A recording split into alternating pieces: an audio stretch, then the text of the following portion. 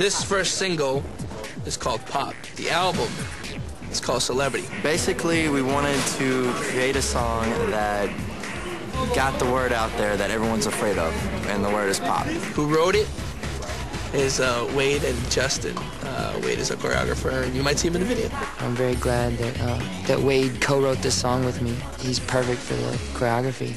He's a very musical person. We just came up with this concept of hearing about all the cliches that have been going on with pop. So what we wanted to do is to do a song called Pop, thinking that it's going to be all about pop, but the music is nothing like pop. It's electronic and it's rock and it's nasty. I think what we're saying is just, it's kind of tongue-in-cheek. It's about everybody who pokes fun at, you know, all the pop artists and everything, saying that it's not real music and, you know, it's just fad and it is what it is. That was the whole idea with the album title Celebrity. That's another tongue-in-cheek thing. It's like, we don't take ourselves too seriously. I mean, we don't look at ourselves as celebrities. I think it's hilarious that people actually look at us in that shape. We're just people, like everybody else. Wayne Isham is the director. He's bad. He's back.